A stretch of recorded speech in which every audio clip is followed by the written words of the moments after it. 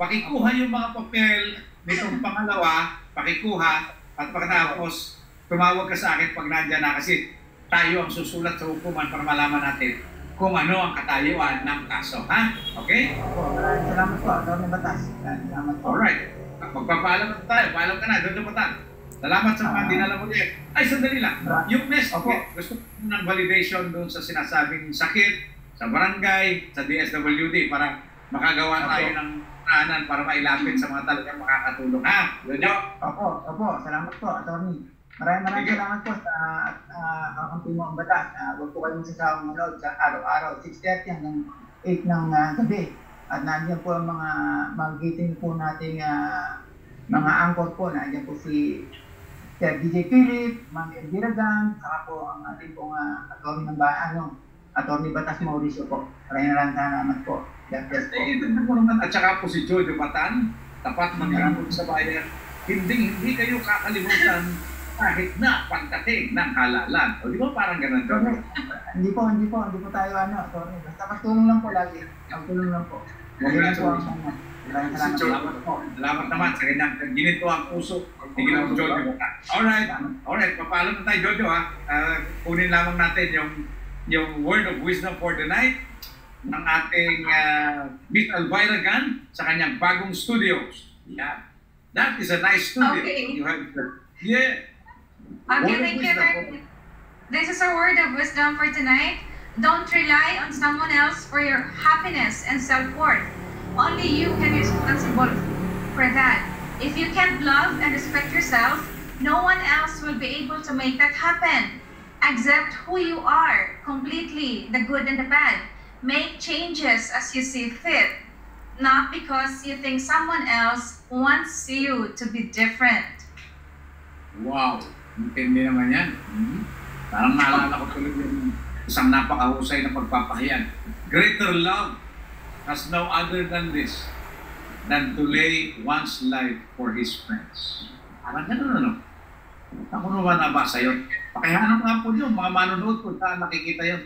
Greater love no one greater than this to lay one's life for the sake of his friends.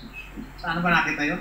Anyway, Alright, maraming salamat, Mr. Elvira Gan. Maraming salamat, uh, Ginoong Jojo Batan. Salamat po sa mga naging guest po natin sa Platuntunan. Uh, Pastora Kay Sobel sa Events of the Day with Pastora Kay. Maraming salamat po. Salamat sa mga nagpadala ng kanilang mga komentaryo. At syempre, Ginoong Ray Camaraman sa Bukidnon Radio Power FM 94.3 Don Carlos City, Bukidnon. Sa Power News FM 90.3 Lake Cebu, South Cotabato.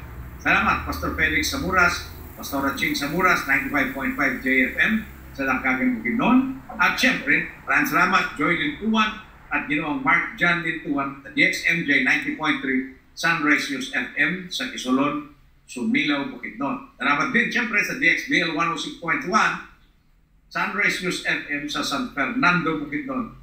Uh, Ginoong Joy Lintuan at Mark John Lintuan. Salamat din kay Ginoong Stanley Yu para po sa ating cable channels. Uh, Coron Cable Channels dyan po sa Coron, Palawan.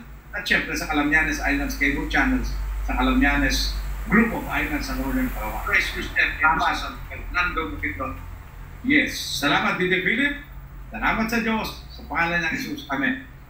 Amen. Maraming salamat. Attorney Batas Mauricio, Ms. Lutay Rajan, at kasi kasama Jojo Batan. Teka muna, may breaking news tayo. Oh. Galing sa Philippine Star, sabi nga nito, Pfizer says COVID-19 vaccine 90% effective in phase 3 trial. Oo. Teka, hindi na natin po dyan. God willing. Hopefully. Pwede nang gano'n umiyak na kami ha. Anyway, ito na po. Ang ating mensahe question sa Alam ko, okay na. Ikaw, Didi Philip. Hmm, God saan? Oh, Ephesians 1, 9 to 10. God Amen. has now revealed to us His mysterious will regarding Christ, which is to fulfill His own good plan. And this is the plan. At the right time, He will bring everything together under the authority of Christ, everything in heaven and on earth. Amen. Ikinaunawa sa atin ng Diyos ang hiwagin ng kanyang kalooban ayon sa kanyang layunin na isa, kakatu isa sa katuparan sa pamagitan ni Kristo pagdating ng takdang panahon. Layunin niyang tipunin ang lahat ng nilikha sa langit at sa lupa at ipasa ilalim ang mga ito kay Kristo. Amen. Po, from panspirasyon sa gabi ito, lumipas naman isang oras ng pagliliwanag at pagtatalakay ng mga batas at sa mga mahalagang pangyayari sa buong maghapon at tayo pansamantalang mamaalam at kung papaintulutan ng po may kapal, magbabalik ang kakampi mong batas para sa pagpapatuloy ng serbisyong legal. Sa lahat po ng nakinig at sa Bukidnon Radio Power FM, sa, Car- ah, sa JFM, sa Dangkagan Bukidnon, sa BXMD FM Sunrise no, sa Sumilo Bukidnon, sa YouTube at ganoon din po sa Facebook Live. Maraming salamat at magandang gabi po. Sa ngalan ni Atty. Batas Mauricio, ni Chad Camilina Domingo Mauricio, ni Atty. Lenny Mauricio, ni Atty. Erin Fenix, Atty. Marisa Mauricio Panopes, at ni Atty. Maria Luis at Dominic Domingo Mauricio na nagpapaalala po sa inyo. Ang COVID-19 ay nandyan pa rin, kahit maging maingat tayo, para tayo hindi ng awa. Pagpapalat kaligtasan sa lahat ng anumang sakuna, lalo na sa COVID-19, mula sa ating Panginoong Heso Kristo. Muli, Amen. ito po ang kakampi mo, ang batas. Amen. Maraming salamat. Maraming salamat. Umalis na kagad si DJ Philip. Dahil lalagay ko pa sana itong mga bumati sa kanya eh. Ah, lalo-lalo na si Maris. Ano sabi ni Maris? Sabi ni Maris ha? Dali lang. Sabi niya. Dali po lamang. Overtime kami ng konti. Sabi niya, ha ha ha, thank you DJ Philip. Ay, ba, ba't yun mga taga-sugod? Oh, tama ba pagkakapronounce ko, Miss Elvira? Ha?